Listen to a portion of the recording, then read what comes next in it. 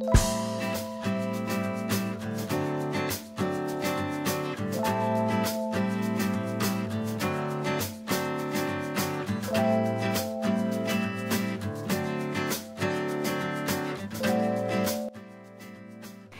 peinado es un chongo pero con trenza y con esta variación de ese mechón suelto, entonces vamos a comenzar.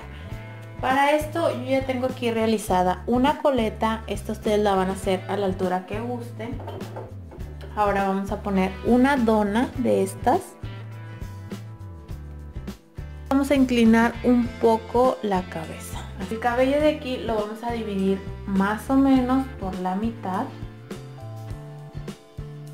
Aquí del centro vamos a tomar un mechón que es el que va a quedar suelto al final. Este mechoncito lo vamos a dejar acá en un lado y lo voy a sujetar con un pasado. Esto para que no me estorbe. Voy a tomar un mechoncito de cabello, lo divido en tres partes. Este es como una trenza que ya les había mostrado, que por aquí se los estaré dejando para que ustedes pasen a verla y se les haga mucho más fácil. Le voy a tejer un pedacito y voy a comenzar a añadir cabello del lado derecho. Entonces cuando pase el mechón del lado derecho hacia el centro voy a añadir un nuevo mechoncito.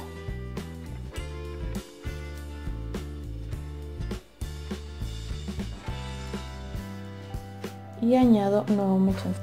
Cuando yo veo que ya llega a la parte de abajo de la dona, ya no voy a seguir tejiendo hacia abajo, solamente esto va tejido hacia abajo. Ahora voy a ir dirigiendo mi trenza hacia este lado para que vaya alrededor de la dona.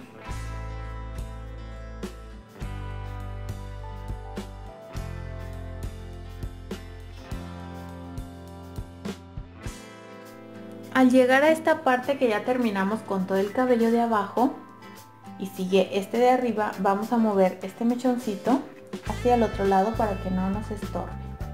Así. Y ahora vamos a continuar añadiendo este cabello.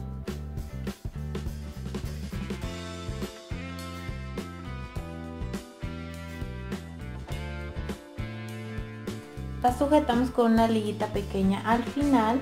Vamos a ir acomodando el cabello de nuestra dona. Esta trenza va a pasar por debajo de la primera capa. Le damos giro y hasta donde llegue ahí la sujetamos con un pasador. Ahora vamos a ir sujetando todo lo de la trenza con pasadores. Esto para que nos aguante bastante y pues no se nos caiga.